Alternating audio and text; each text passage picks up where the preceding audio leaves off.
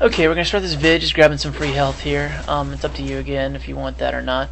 But uh, right now we're gonna be going after telekinesis. Um, a lot of people downplay telekinesis. I um, don't use it a lot in this vid, as this strategy guide, but um, it does have its benefits, and it has very large ones in the next fight against Steinman.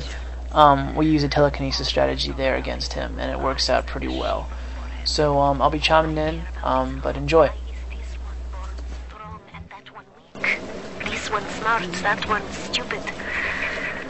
All that killing. You think the Germans could have been interested in something useful?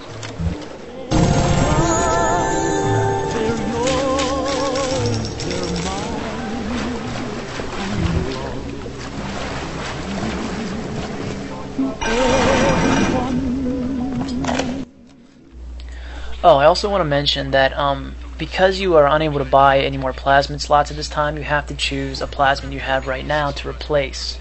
And um, I always choose fire. Um, surprisingly, I don't use fire very much at all, and the electroshock has so many more benefits um, with the immobilization of enemies and the water um, shock that I definitely keep it. Um, so I would highly recommend that you replace fire instead of the shock when you uh, choose which slot to use your telekinesis in. Um, again, it's up to you, but for the remainder of this strategy, I will be using electric shock, so um, I'd recommend you stick with it.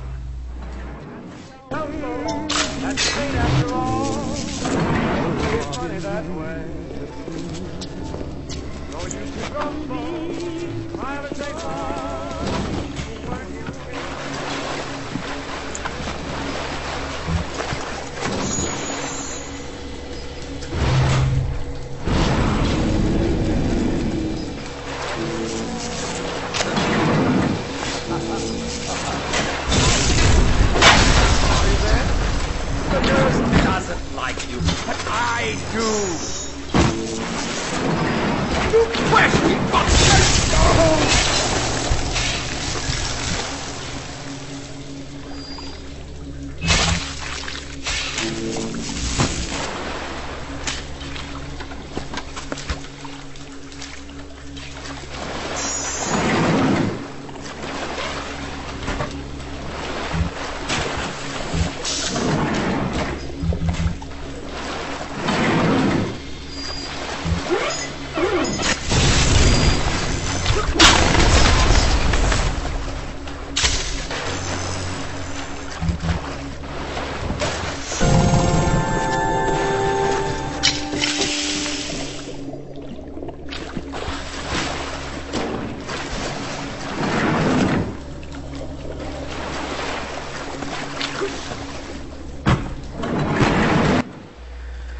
Okay, um, now's the time we're going to grab the shotgun, and when you grab it, it's going to go dark, and it's going to trigger um, a lot of enemies, but they're all fairly simple, and all you need is your wrench. Um, you really don't even have to shock them.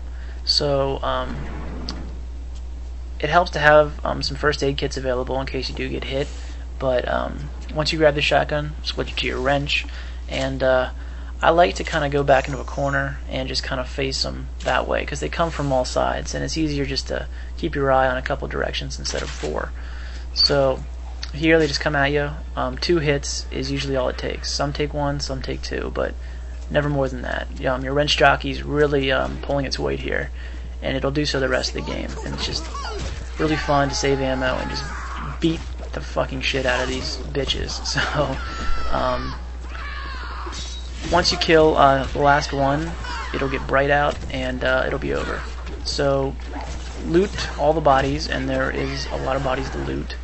Um, add more ammo to your cache, Um, add more cash to your wallet, and uh, I'll see you next vid when we face Steinman, which will be made tons easier thanks to telekinesis. See you then.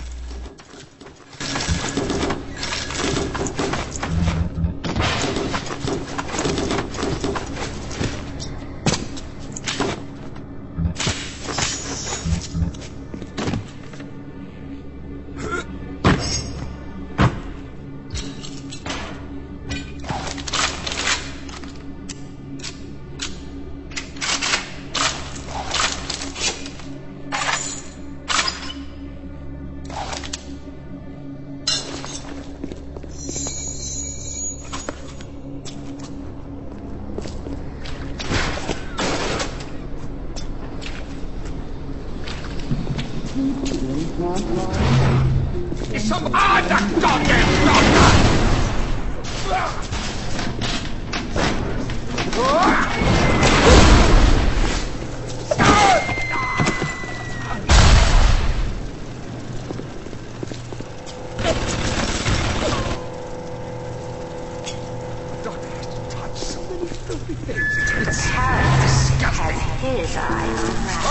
Doctor has